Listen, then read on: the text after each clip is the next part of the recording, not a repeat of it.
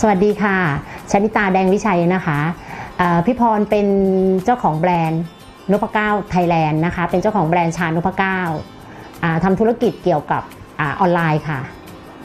ชานพเก้าก็คือชาที่มีสมุนไพรทั้งหมด 9 ชนิด ไม่ใช่ชาแท้ๆ ไม่ใช่ชาที่มีคาเฟอีน ชาสมุนไพรนพเก้าก็คือเป็นสมุนไพร ก็เลยให้เรียกว่าชานพเก้าจริงๆพี่พรป่วยหนักมากนะคะ ป่วยหนักจนถึงขั้นแทบไม่มีชีวิตรอดนะคะ คุณหมอบอกว่ามีเปอร์เซ็นต์รอดแค่ 3%เท่านั้นนะคะ แต่สุดท้ายพอรอดมานะคะ พอรอดออกมาแล้วเนี่ย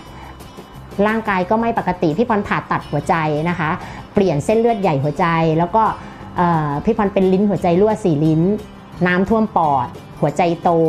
แล้วก็แถมมีเนื้องอกอะค่ะในร่างกาย9ก้อนพอผ่าตัดออกมาแล้วอะร่างกายไม่สมบูรณ์ เลือดไม่ดี แล้วก็ป่วยบ่อยมากนะคะ แล้วก็ร่างกายก็สู้ผอมดำจนสุดท้ายแล้วอะค่ะคุณหมอก็ให้พี่พรอะต้องไปผ่าตัดรอบสองทีนี้ก็คือจุดเปลี่ยนนะคะ คุณหมอส่งตัวไปผ่าอีกรอบนึง แต่ผ่าไม่ได้แล้วผ่าไม่ได้เลย เนื่องจากว่าสภาพร่างกายไม่พร้อม แล้วก็ร่างกายอะไม่สามารถเอาของเทียมเข้าไปได้อีก ตั้งแต่นั้นมาค่ะพี่พรก็ตัดสินใจเลยนะคะว่า จะไม่หาหมอละ จะไม่เข้าโรงพยาบาลละ จะไม่พึ่งยาเคมีละ นี่เป็นจุดเปลี่ยนในวันนั้นถ้าเจอสมุนไพรนะคะที่มาช่วยตอบโจทย์แล้วก็ก็ศึกษาศึกษาอย่างจริงจังเลยค่ะตั้งแต่วันนั้นนะคะจนมารู้ว่าสมุนไพรแต่ละตัวเขามีคุณสมบัติเขามีจุดเด่นซึ่งเลิศมาก ศึกษาไปว่าเอ๊ะในเมื่อร่างกายเราเป็นหลายโรคขนาดนี้แสดงว่าสมุนไพรอะจะต้องมาตอบโจทย์ในแต่ละโรคของเราอย่างเงี้ยค่ะ พี่พรก็ศึกษาไปทีละตัวทีละตัวทีละตัวสุดท้ายแล้ว พี่พรก็ไปซื้อแล้วเอามาต้ม ก็คือเป็นสมุนไพรบ้านๆนะคะ มันยุ่งยาก เราเป็น9โรคเราต้องกินสมุนไพร9ชนิด จากการที่เราต้องต้มใช่ไหมคะเพราะฉะนั้นใน 1 วันนะคะเราก็ไม่ต้องทำอย่างอื่น เราก็ต้มแค่สมุนไพรอะค่ะก็หมดวันแล้วอย่างเงี้ยพี่พรก็เลยมองว่าเราจะต้องทำตรงเนี้ยค่ะ ให้มันง่าย ไม่ใช่ว่าต้มต้มต้มพี่พรก็เลยคิดคิด คิดค้นนะคะวิธีทำยังไงให้มันง่าย พี่พรก็เลยเอาสมุนไพรทุกอย่างอะคะ่ะ เอามาบดละเอียด แล้วใส่กัน แล้วก็เอาไปทำเป็นชาอย่างเงี้ยค่ะแรกๆก็ไม่ได้ง่าย เพราะสมุนไพร9ชนิดมันไม่ได้เอามาลงตัวกัน หรือมาแมชกันแล้วมันสามารถทานได้ทุกคนหรือว่าทุกโรคใช่ไหมคะพี่พันก็เอาตรงนี้ค่ะ ไปปรึกษาคุณหมอ เพราะอยากให้คนทานได้ทุกเพศทุกวัยตั้งแต่เด็กจนถึงวัยผู้ใหญ่จนถึงวัย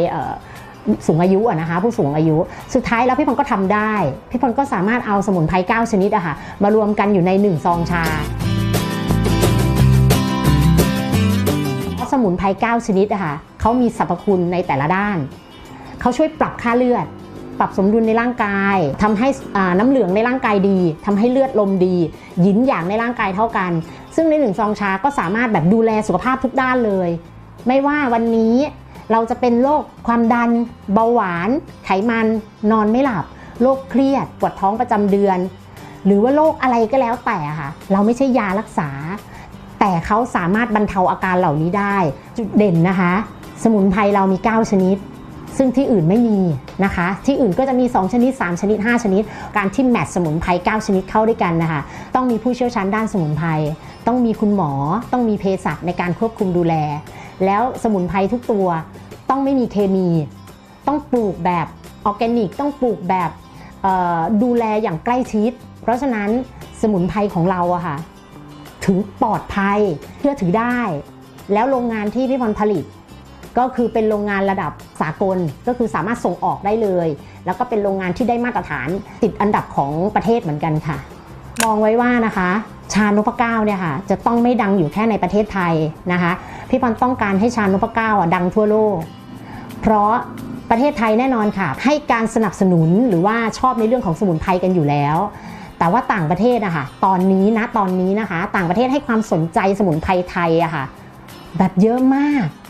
พี่วันส่งออกหลายสิบประเทศมากเลยนะคะ ตอนนี้นะปัจจุบันเพียงเวลาแค่ปีกว่าๆ สร้างยอดขายมูลค่ามหาศาลมากๆ เพราะฉะนั้นเป้าหมายพี่พรต่อไปคือพี่พรจะส่งออกให้ได้ทั่วโลก แล้วชาสมุนไพรอะค่ะจะต้องดังระดับโลก ทุกคนจะต้องรู้จักบริษัทนพเก้าไทยแลนด์ค่ะ